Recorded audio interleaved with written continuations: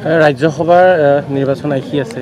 গতিকে সেই সন্দৰ্ভত কি চাওক যদি আপোনালোকে সেই দুয়োজন প্ৰাৰ্থীগৰাকীক সোধে যে তেওঁলোকে ৰাজ্যসভাত থাকিবলৈ বিচাৰে এজনক যদি সোধে যে তেওঁক ৰাজ্যসভাত থাকিবলৈ বিচাৰে নে লোকসভাত তেতিয়া এজনে ক'ব নহয় মই ৰাজ্যসভাত নিবিচাৰোঁ সঁচাকৈ মই লোকসভাত থাকিবলৈ বিচাৰোঁ।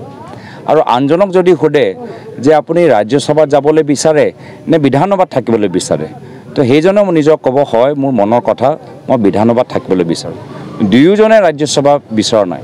দুয়োজনৰ মনত এজনৰ মনত আছিলে লোকসভা এজ সিজনৰ মনত আছিলে বিধানসভা। কি তেওঁলোকৰ ভিতৰত ৰাজনৈতিক খেল চলি আছে মই নাজানো কিন্তু দুয়োজনৰ মানে মানে কি কয় নিজকে এটা বেলেগ ঠাইত দেখা পাইছিলে। এতিয়া এতিয়া বাধ্যমূলক মুখ্যমন্ত্ৰীৰ ৰাজনীতিৰ কূটনীতিৰ বাবে বাধ্যমূলক আজি তেওঁ দুয়োজন ৰাজ্যসভা প্ৰাৰ্থী হিচাপে আগবাঢ়ি গৈছে। আগন্তুক নিৰ্বাচনত আপুনি আপোনাৰ স্থিতি কি হ'ব? না মই আমাৰ দিল্লী কেন্দ্ৰীয় নেতৃত্বক অৱগত কৰা আহিছোঁ যে আমি যদিও আমি বহুত আমি পৰিৱৰ্তন দেখা পাইছোঁ লোকসভা নিৰ্বাচনৰ পিছত। তথাপিও বহুত কৰিবলগীয়া আছে। বিভিন্ন জিলা ভিতৰত সংগঠন শক্তিশালী কৰিবলগীয়া আছে। আৰু সেই কাৰ- কাৰণে আপোনালোকে দেখিলে যে অলপ দিন আগতে মই গোলাঘাটলৈ গ'লোঁ। তাত পঞ্চায়ত আৰু প্ৰতিনিধিসকলৰ লগত আলাপ আলোচনা কৰিলোঁ।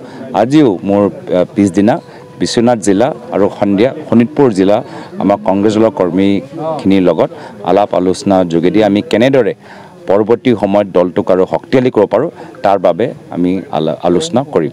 ছাব্বিছৰ বাবে ইতিমধ্যে আচলতে ৰণকৌশল আৰম্ভ হৈ গৈছে ছাব্বিছলৈকে বেছি সময় নাই।